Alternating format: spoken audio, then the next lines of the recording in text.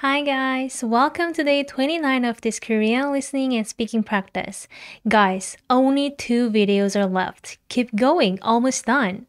Everything here is 100% free, including the script you can download from my website. So please check the link in the description down below. And let's dive into today's practice right now. So today's Korean expression is 절대로. 절대로. It is an adverb that means absolutely or never. It is used to emphasize strong determination or a firm refuser in both positive and negative context. When used in positive context, it can emphasize a strong commitment to doing something. For example, 절대로 포기하지 않겠다. It means I will absolutely never give up. However, it often used with negative verbs to mean never or by no means. For example, 절대로 거짓말하지 마세요. It means never lie. So, in summary, 절대로 adds a sense of certainty or absolute resolve to whatever action or statement it accompanies.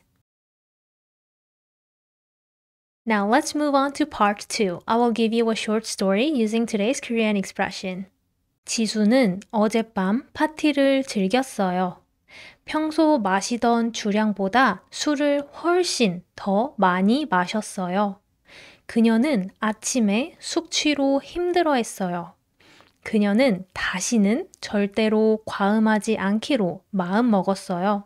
다음부터는 주량을 지키며 술을 적당히 마시기로 했습니다.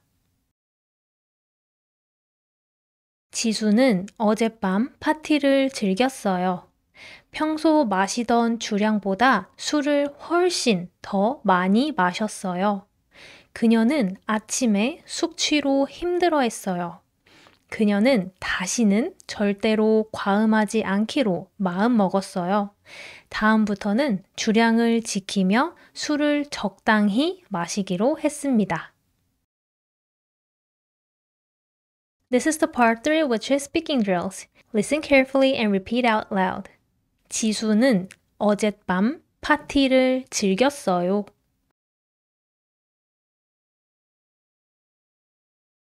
지수는 어젯밤 파티를 즐겼어요.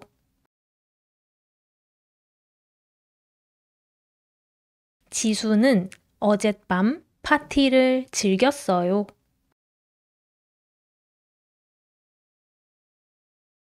평소 마시던 주량보다 술을 훨씬 더 많이 마셨어요.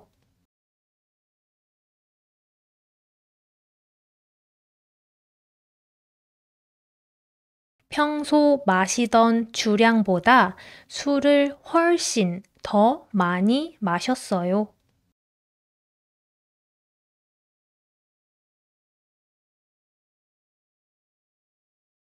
평소 마시던 주량보다 술을 훨씬 더 많이 마셨어요.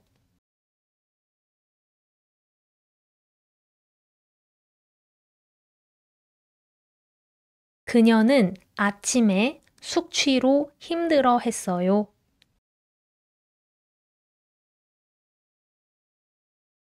그녀는 아침에 숙취로 힘들어 했어요.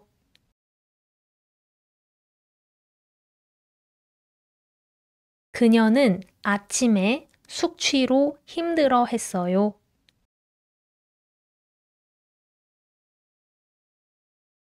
그녀는 다시는 절대로 과음하지 않기로 마음 먹었어요.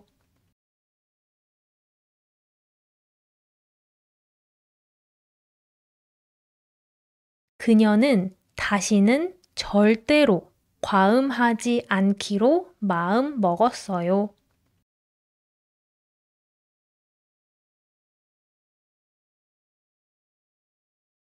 그녀는 다시는 절대로 과음하지 않기로 마음 먹었어요.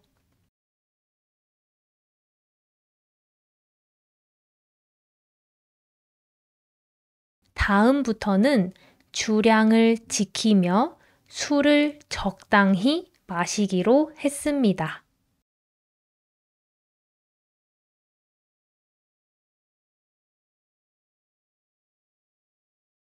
다음부터는 주량을 지키며 술을 적당히 마시기로 했습니다.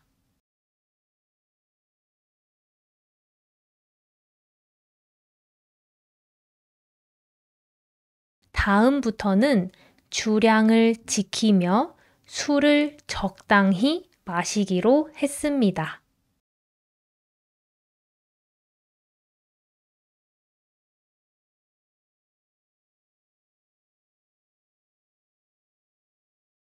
지수는 어젯밤 파티를 즐겼어요. 평소 마시던 주량보다 술을 훨씬 더 많이 마셨어요. 그녀는 아침에 숙취로 힘들어 했어요.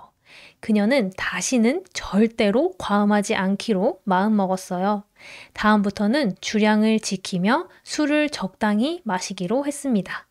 Congratulations on completing day 29 of practice. Great job today. Consistent practice is the key. We're nearing the end of this practice series, so stay motivated. I look forward to seeing you in the last video of this series. So until next time, take care.